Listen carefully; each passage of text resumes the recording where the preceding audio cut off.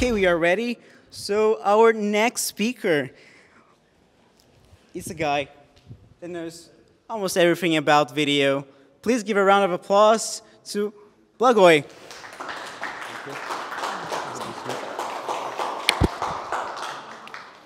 Okay. Hello, everybody, and welcome to my presentation about video transcoding. So around six years ago, I had the chance to actually work on a project with the ultimate goal of uh, converting proprietary format from surveillance cameras into standard format like H.264, which can be played by a player like VLC or Windows Media Player. The goal for this was to be used, for example, by forensic institutes, so receive this file from somewhere. They do not have the player, or they have it, but they have difficulties installing it. They would run through this software. They will get like a standard format, run it with Windows Media Player, and then identify the offender, take screenshots, and then, for example, either distribute among people or let's say they run it through image recognition database. And once they find some information, they take the necessary legal actions. Before we start, a couple of words about me. So my name is Blagoj. I came from Macedonia. I work at Swiss company Netcetera, and I'm a tech lead of a team which develops applications related to a protocol which enables increased security during online payments. The easiest way to describe me is by three things that I really like, and that is traveling, running, and last but not least, coding. And now we can start first, of course, with the main concept or the main requirements of the system that we were, was about to develop.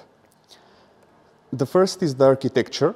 So by requirement, someone can upload like multiple files we do not want to have just one worker and then leave the system hang out, but rather to have a distributed system with mixed nodes, and there is one server which will be like the orchestrator of the work. Uh, then we would also need to have, for example, some kind of a health check, because in case some failure happens and you start losing nodes by nodes, at some point you would have a complete failure. And also we would need to have some kind of a dashboard so that the people using the software can track the progress, so how many files are in the pipeline, and until when the transcoding will be done. And now, first, what two kind of operations we need. Once you run some file, first you need to determine whether we are able to transcode it.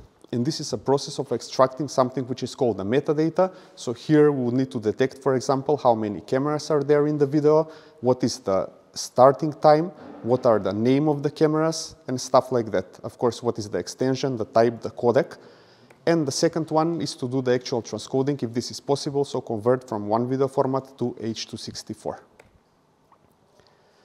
And first, how do you start if you do not have any prior knowledge to transcoding? And the first one would be simple. So we say, if we have the video and also we have the player, then we could actually just do what a normal user would do. So we will start the player, then load the video, and then we will do something which is called screen capturing. This means that, for example, on periodic intervals, we would take like a picture, then we will convert it to audio video frame, and we will insert it into some output stream, so to create like the file that we want. However, there are some let's say, issues with this, because at first it seems easy, but have in mind that we're uh, talking about some unattended system. So first we would need to install the players. And usually, for example, when you install unattended, you have like one run, there you record the answers, and then you play again the installation wizard with those answers. However, if we're talking about some old players, there is a situation like this one, where we have WISE installation wizard. And this wizard was that wise that it didn't even allow, for example, for you to change the directory that the player will be installed in. And this is like the basic thing. So uh, we needed to give up on this, although we put like too much of an effort to actually have all the players on a common place. There was this site Code Ninja when this question was asked like 10 years ago without answer. So we hit the wall and we said, okay, this one will be left out of the group. But let's say this first step is done and you have the player installed and then you're about to run the video. And then this first step is about uh, taking out the metadata and we say we will have some kind of a text recognition. And for that one, we used a library called Tesseract, which was supposedly, for example, if we provided an image with some timestamp, it would extract the starting time of the video. And this worked well, for example, with this, what I show here, but this is like level one because we have like monochromatic background and also rather really understandable like digits. However, we can have issues, for example, the font can be weird, also the background could be really hard to distinguish, we can have construct issues, then size issues, then there will be like rather strange format, then again constructing, and the last one, my favorite, so this last one is basically hard even for a human to distinguish what the timestamp is and not to train the computer to do the same thing. And now we say, okay, first we have, let's say, some kind of a player, and the basic rule here is that when you have some kind of a player, you would expect that this is meant to be automated, so that the developer of this software sends something like automation IDs. And then you would just fetch the control by automation ID and you, you can perform some kind of actions like double click, drag, or whatever DOM events they are. On this first uh, picture, we have like automation IDs, which is like the ideal case. On the second one, you think that this is like the same case scenario. However, you are wrong. Because first, you think that, okay, I will just fetch, let's say, the play button, I will change it to pause, everything will work. But if you run this with some tools like, let's say, UI Spy, you will see that this is a pain, and this is like short for pain in the S. This is what your pain process will be, because uh, from automation controls, you have exactly nothing. And how do you deal with this? Well, first, you would need to take, let's say, this capturing rectangle, then you would need to find the geometric center and then click half blindly between the center and the upper bound. Note the color of the target point before you click, and then to note it again after you click. And if this differ, this means that your click worked. And at first, this seems like too much of a work just for the only ordinary click, but it will prove that it is necessary, and we'll get back to that in a minute. And now we say, okay, we would need first to somehow see the video. And on this picture, we see just one black rectangle. The question is, how do we add this video, or even better, where is the video here? It's very intuitive, and if you see here, well, here is the video. So this is like 24-hour format, and this uh, small uh, red dash is basically just a couple of minutes where we would have video. And how do you deal with this? Well, you would need to automate the process that actually would go through each of these cameras, and then you would need to automate the dragging from start to end. And once you drag correctly, there will be a video appearing to this. And this can be sometimes really a tedious process. Uh, however, uh, there is some issue with this, and uh, mainly when you are looking, let's say, for some criminal act, time is of essence, so you would need to act quickly. And in this case, when you need to do screen capturing, it's obvious that the best that we could do is like one-to-one. -one. So the transcoding can take as long as the video is, and uh, there are some videos which, uh, for example, have like daily footage, and if you would need to wait like for a whole day for a video to transcode, this is a no-go. And we needed to ask for some other ways in order to make this work. And there is a possibility that some players offer, and that is like built-in video export functionality. So if you see here on the right-hand side, we have like export in H264. This is exactly what we need, and this is something that definitely goes faster. Even if it is not our target type, we can, for example, get it into AVI or MOV, and then use like direct FFmpeg commands in order to achieve what we want. This for sure will be faster than like to do the screen capturing. However, not all the players offer this. And if this is not built in, there isn't much that you can do. So uh, I mentioned previously that there were some issues, especially with screen capturing, but there are also some other more. Mainly, for example, if you have some images, you would need to rely on labels. And if labels are on a language different than the common one in programming, that would be the English, then you would have issues. For example, as we have more modern players, the choice of languages is really like high. And there are some other players in which, for example, here we can see that you are able to choose the language. However, there is like only one option and that is German. And this would run you into problems if you def define, for example, really the text that you need to compare against. And the other thing, which is even more interesting, is, for example, you would have sliders because really you would like to track the progress of a video. And in this first uh, example, we have like a common slider, so here everything is working fine. However, if you see this example, again, the slider is kind of moving, but at some point it will stop. And then what you would need to do is basically to probe because there is some invisible, invisible gap in order to be able to continue.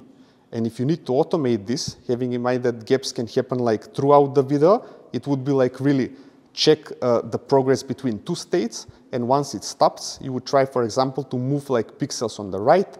And if you see some movement, then you start again, and then there will be like a second gap until you reach the end of the video. This is something that, again, it's a decision whether you would want to cover or just say, okay, we start on the first gap. But definitely, if you want to be complete, you would need to put a bit more effort in order to handle these cases. It can be, for example, like on from 100 cases that one is like this, but we say we want a universal thing, so we need to be prepared to anything. Also, there is another case, for example, like this one here. And if we see here, the label is actually moving, However, the slider is stuck at the beginning, so you have absolutely no information about the progress. And here the solution would be that you just take this label value on some consequent intervals, and then if there is a change, this is like a, a sign to you that you would need to still continue with the capturing. And also there are some other things, for example, the footage of the timestamp cannot be on the video, and then you would need like to manually edit. First to capture the frame, then to capture the label, and then to have a method which will write exactly a font bitwise on the picture itself. And the last one here, again from what we see, this appears to be a standard uh, slider, however it's a picture. And now again the question is how do you deal with this one?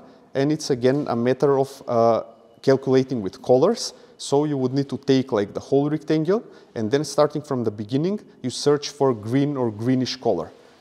However, having in mind that this can be, for example, played on some kind of a virtual machines with different color scheme, you cannot be that strict, but you would also need to take care about the hue and the saturation in order to define like a feasible buffer and then to say that you are fine and you can find where exactly the progress is.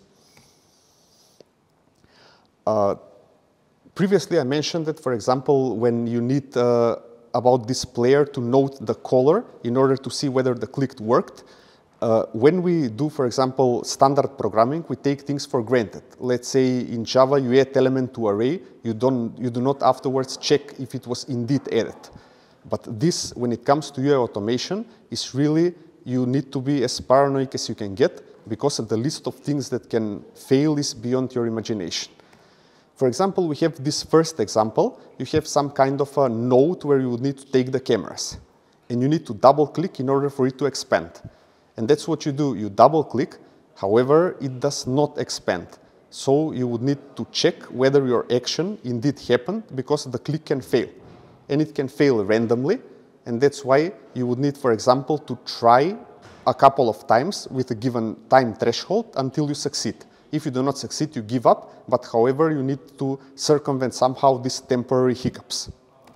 Or the other thing is here, for example, the video opens, but it's not at the beginning. We need to click like this uh, button, go at the start point, and this will work, but it won't be immediately. It can happen about a couple of seconds later. And that's why, again, you would need to have like some waiting period in order to make sure that this is indeed what you want. Why we do this is because this is like a chain of events. And if something doesn't work as expected, then all the actions that you do afterwards are in vain. There is another thing, for example, you have like info about the cameras.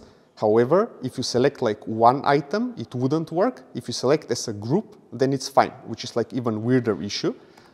Or let's say you have some kind of an export, and there you would expect that, for example, you have the pop-up and there you track the progress of the built-in export.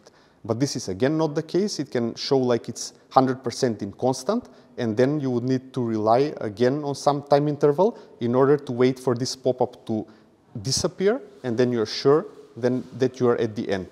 So this is something that you really wouldn't find in convenient programming. There are some other issues, and the first one is, of course, that players are not ideal and they can crash. And if this happens and you do not have some kind of a mechanism to clean up afterwards, this would mean that you would have one or multiple nodes with hanging processes, and then this would lead again to eventual failure of your distributed system. So you would need always to check after you finish that the software process associated to this player is gone, or if it isn't, like to kill it forcefully. Otherwise, you would run into problems. And the last thing worth mentioning here is that in the beginning we assumed that there will be a player that you can open the file with. However, if the player is not there, then all that we talked about previously is out of the question. And we would need to find some kind of additional thing to do in order to cover these cases. Also, the last thing is that, for example, if you want to do this in a commercial way, then you would need to care about the licensing. So this is like end user license agreement. No one reads this, but you would have to read it in order not to end up with legal issues. So as we see, the list of issues when you do uh, things with the player can become quite large, and we would need to think about some other way that could save us both at least time and efficiency. And the reason for this is to use direct transcoding, and here I'm deliberately using like challenge because everything is challenge about this. The first thing is that you would need to deep dive into hex code because you do not have a player, you have a file, you have the raw content there. And this is also associated with lots of theory behind. We're talking about 500 pages PDFs, so about different formats, then coding of the objects, file structure, advanced video coding, and stuff like that. And this is something that uh, no one would like to bother with, but would try, for example, to have a head start with something. And we, for example, what we did is that uh, we have, let's say, some know-how about JPEG files or video stream formats, and we try to find that information. However, we have actually no idea how this is structured, so we would need to do a reverse engineering in the blind. But before that one, there is one thing that we unfortunately cannot do. I mean, we could, but it would be really painful, and that is that because we're talking about confidential videos, it's common that some of them are password protected. So what you could do here is basically, again, imitate what the user would do. If the user has the password, it enters it, and then we can open the video. But in the case if you do not have a file, this would mean that you would need to know the encryption mechanism and the secret key. Otherwise, you would guess but there is no way that you could actually do the transcoding because the encrypted hex code is not plain. And this is what it's worth. For example, here we have a non-encrypted hex code, and here we have an encrypted one. And to someone that is seeing uh, hex code rarely, this can seem like the same thing. However, there are some indicators which prove the opposite one. And as we see here, we have this is like a, hex code as a marker of starting of an image. And if we see at the bottom, there is like completely different numbers, and this means that the information is encoded. Uh, another thing is that, for example, there were some situations where we thought that the video was password protected, but it ended up that it isn't. Uh, we had some player, and we saw that inside there are some .NET libraries. And there is already a decompiler provided by JetBrains called dotPeek. So we decompile this thing, we saw all of the source code, we figured out that there is no password protection, and we went on with the direct transcoding. And the other funny thing was here that the player wasn't robust at all, so there was this method validate video file name, which was actually relying on the name that the hardware would, would export. So, for example, here we have four names, and all of those are generated like by the hardware, by the camera if you try to change some of this, for example, we changed the last one, we set it to test AVI, and then we see that even the player now does not recognize this as a video, although it is a full-fledged file. The other thing that we experienced is that, for example, even if you do the direct transcoding, there are some files which can have corrupt frames. And if you feed a corrupt frame into a decoder, it wouldn't fail as you expect, but rather we exhibit this behavior as we see here, so the picture is somehow transformed into an abstract art.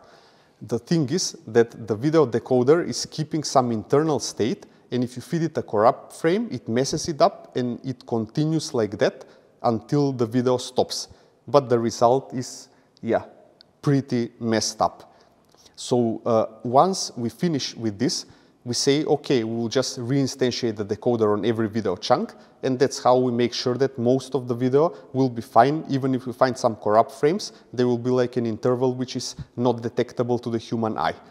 And as you saw in this video, it's not like really dynamic. And after we fixed that, we wanted to see like whether it was worth and whether we will see something interesting. And as we see now on the next picture, the video continues to be like only the timestamp changing, but if you're persistent enough, you should see a pigeon appearing here, as you see here. So uh, the funny thing about it, this is that uh, when we are talking about these videos from surveillance cameras and people think like we are seeing crimes or something that is really, really confidential. And as you see here, we are happy if we see something like this. So it's most of the time just uh, footage of something that is way, way boring to look at, but someone has to do it. Uh, the other thing here is that when we are talking about uh, direct transcoding, usually we have some kind of a structure. As, as, I mentioned previously, this structure all of the times is unknown to us. However, there is some rule, and we are talking about uh, four letter identifiers which somehow would need to describe what the author of the file format would do. Uh, here we see, for example, uh, the structure for MOF item, and here uh, we define, for example, the headers, where the data is, and everything else. But imagine that uh, instead of something which is rather known, you have like something completely unknown. You have these four-letter words, which you have no idea what they mean, and it's like really as complicated as it can get. Uh, we indeed put quite of an effort to figure out or try to extract some streams, but uh, it was hardly impossible. And again, we needed to give up. So we said, yeah, there isn't anything for us we could do. We put our best effort, but we couldn't make out to decipher what was meant with this file. So there were also this kind of cases. And the last thing that actually you would need to do in the first place is that you can't uh, go away without uh, diving a bit into the FFmpeg development kit. So warning ahead, we have some signatures of C++ methods, so there will be like a lot of pointers. Uh, in short, what you would need to do is when you need to have like a direct transcoding of the video, first you would need to allocate output context, then you need like to create a new stream where you would write frames. And then this AV codec open2 is basically the method which will allow us to open uh, the codec with the given target type. Then we would use, for example, some frame that we will write data into it. We would need to open the input-output file that we will write to. And the last thing is that we start now with writing the header first. And the next thing is that uh, we need to add frames to it. And we have like two things. One is if we have, let's say, a bitmap and we need to create audio video frame. And the other one is, is we have like a portion of a stream. Uh, the, e the easier way is to create like from a bitmap. So you need to make the frame writable. And then there is like this method where we actually transfer the data from the H bitmap into the AV frame with this method AV picture fill. Uh, once this is done, there can be some incompatibility of the video format. So is this cryptic method SWS scale. So this is what uh, would make you a standardized frame. And uh, with this, you are done with one part of the branch. The other thing is that if you have, let's say, a video format, then you have this method AV codec decode video 2. And what this does is it basically detects all the frames in it, uh, extracts them one by one, and converts them to standard frames. And once this is done, you need to, for example, initiate a packet, and then this encode video 2, which is the opposite to the decoding, would uh, take this frame, uh, put, let's say, uh, video uh, width and height to it, then also make a timestamp and define the frame rate. And with this last interleaved write frame is what we need to store the frame into the output context. The last thing here is, of course, to actually clean up mainly in the opposite way that we did at the beginning.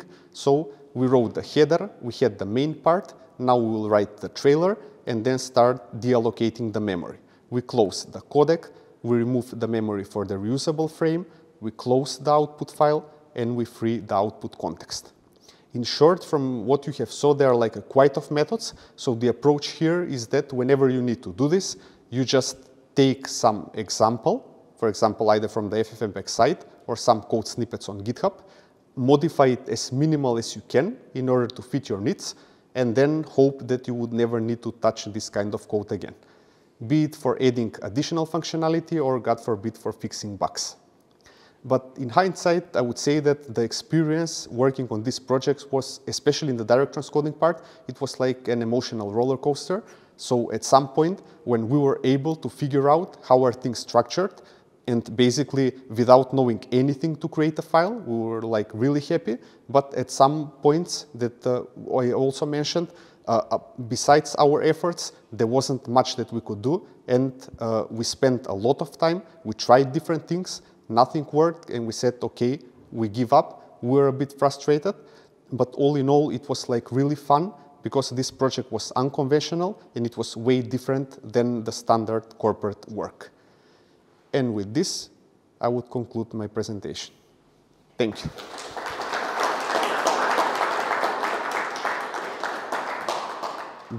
Do we have any questions? Yes? Uh, Just the mic over there. Hi, my name is Hector. Uh, I wanted to know that about, in your perspective, what applications do you see for this project? If, if somebody was crazy enough to pick it up and you know trying to build on it to make something you know reusable or at large scale, what, what applications do you see for this kind of project?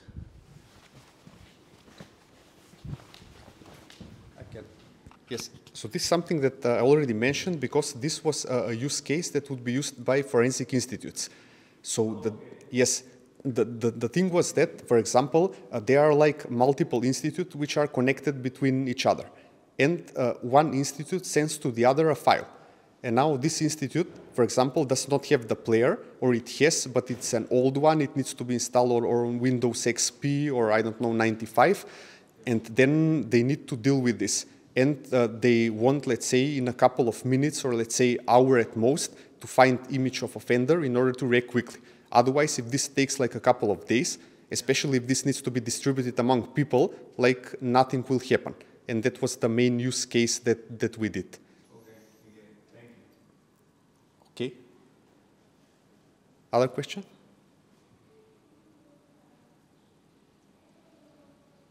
If not, then once again, thanks for listening. Thank you very much, Blagoj.